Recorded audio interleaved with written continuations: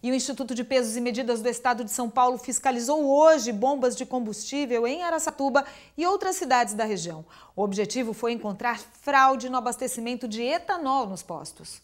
O primeiro alvo dos fiscais foi um posto de combustível na principal avenida de Araçatuba. Os fiscais do IPEM chegaram até o local por causa de uma denúncia anônima.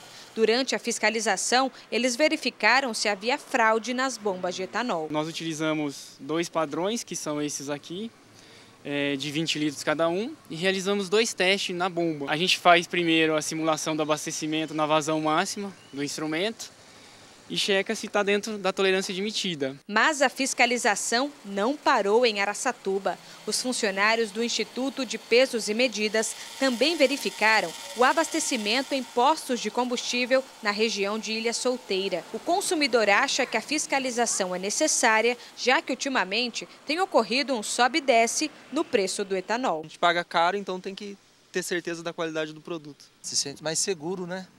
Diante da fiscalização, porque Hoje em dia está complicado, você abastecer em qualquer posto. A gente, e por ser leigo, a gente não tem consciência daquilo que é que se está sendo lesado ou não, né? O IPEM alerta. Esses elementos aqui, indicadores, eles têm que partir do zero. A outra dica é o ideal é que ele saiba quanto realmente caiba no tanque do seu veículo. Isso ele pode é, obter essa informação consultando o manual do veículo. E ele passar a observar o ponteiro indicador do combustível quando ele chegar no posto e estimar quanto que falta de combustível para realmente atingir aquele, aquela capacidade máxima indicada. Confirmar se realmente é, é aquilo que cabia ou se está marcando a mais do que deveria. Nesse caso, ele pode solicitar é, ao próprio frentista do posto que realize uma medição com a medida própria que cada posto tem que ter né, e tirar a dúvida quanto a isso.